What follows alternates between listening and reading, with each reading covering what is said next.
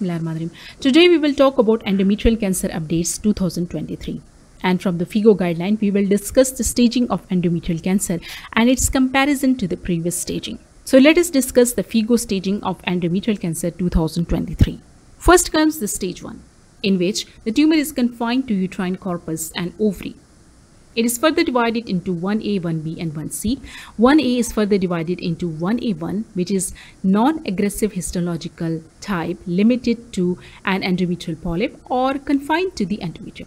1A2 which is non-aggressive histological types involving less than half of myometrium with no or focal lymphovascular space invasion. 1A3 low-grade endometrioid carcinoma limited to the uterus and ovary. 1B which is non-aggressive histological types with invasion of half or, or more than half of myometrium and with no or focal lymphovascular space invasion.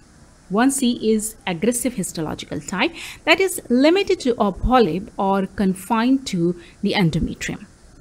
So this stage is, is different from the previous staging in which we just had 1A and 1B. 1A was the one in which there were less than 50% of myometrial invasion and in 1B there was more than 50% of myometrial invasion. There were no further deviance of 1A and there was no 1C in the previous guideline. Now this is the screenshot from that updated guideline of 2023 and you can study stage 1, one from this screenshot.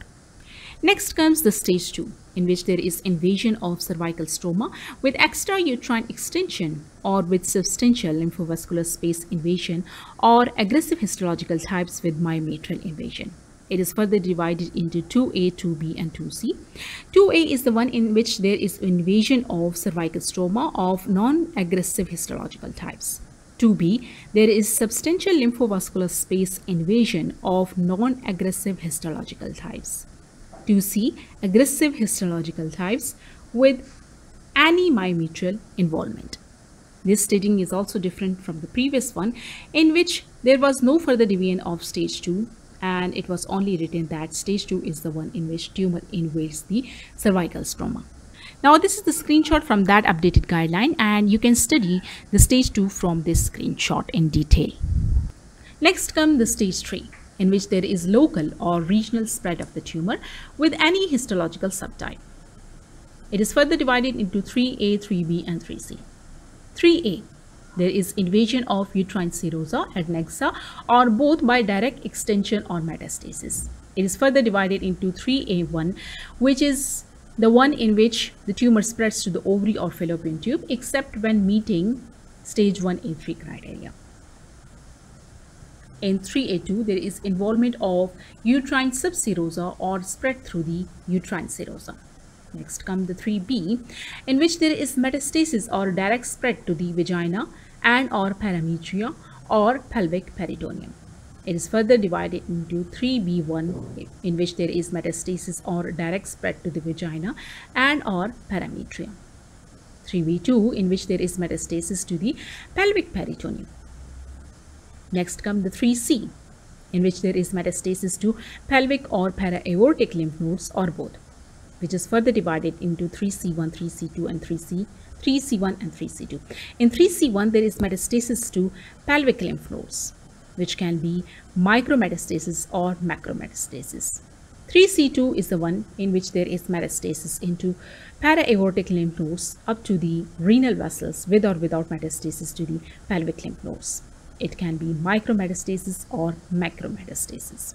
Now this staging is also different from the previous one in which the stage 3 was the one in which there was local or regional spread of the tumor. 3A was the one in which the tumor invaded uterine serosa or adnexa. 3B was the one in which the tumor invaded vagina or parametrium. 3C1 pelvic lymph nodes were involved. 3C2 para-aortic lymph nodes were involved.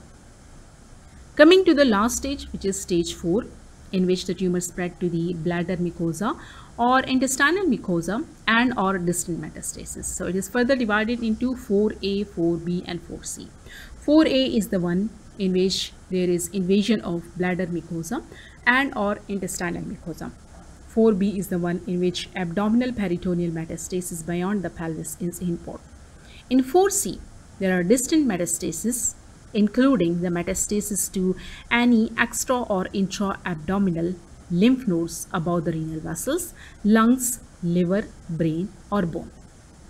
If we compare it with the previous staging, 4A was the one in which there was invasion of the bladder and bowel mucosa.